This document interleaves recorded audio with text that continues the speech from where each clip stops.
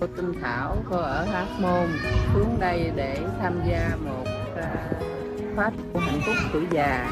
Và À. cô cảm thấy là hạnh phúc thật sự, dạ. Thật sự hạnh phúc và rất là à, mở rộng tình thương, thương yêu tất cả mọi người giống như một đại gia đình. dạ. Và cái điều đặc biệt cô tâm huyết nhất là những tình nguyện viên ở đây đã có một đội ngũ để trị bệnh và chăm sóc sức khỏe cho người già. Hết sức là chu đáo. dạ là điều cô tâm đắc nhất và cũng cảm ơn.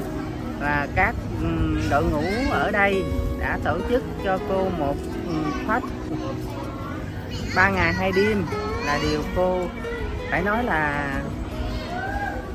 rất sức là là cảm động.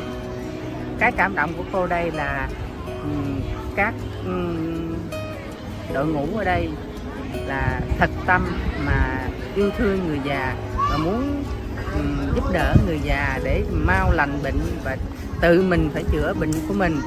Và qua đó cô cũng có ờ, cảm ơn à, cô Sưng và chú Ngọc đã à, làm nhiệt tình trị được cô một căn bệnh là cô hay bị đau lưng và đau vai gáy dạ. mà chú Ngọc đã làm. Cô cảm thấy thoải mái và cảm thấy xúc động và nghĩ rằng thương chú là truyền hết cái năng lực cho cô dạ. Và để cho cô có một cái sức khỏe thật sự mà ngày hôm nay cô mới thấy được là cái sức khỏe của mình là thật sự. Trước dạ giờ là cô có cảm giác con người cô lúc nào nó cũng đau cũng nhức. Dạ. Mà hôm nay là cô rất là mãn nguyện.